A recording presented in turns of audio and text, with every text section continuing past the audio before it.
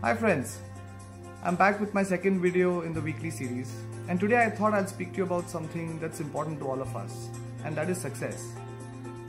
You know, we all want respect, fame, fortune and even wealth in life and all that comes with success.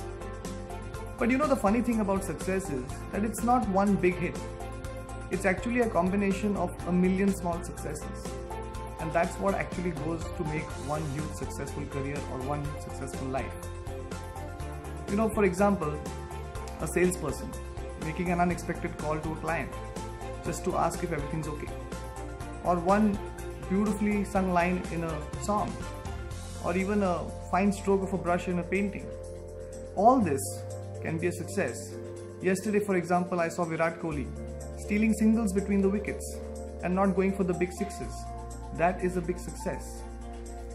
Success has a strange way of making things right but it also means doing the good things better again and again.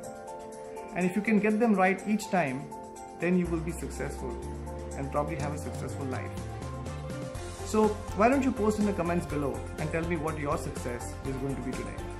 Thank you and remember, nothing succeeds like success.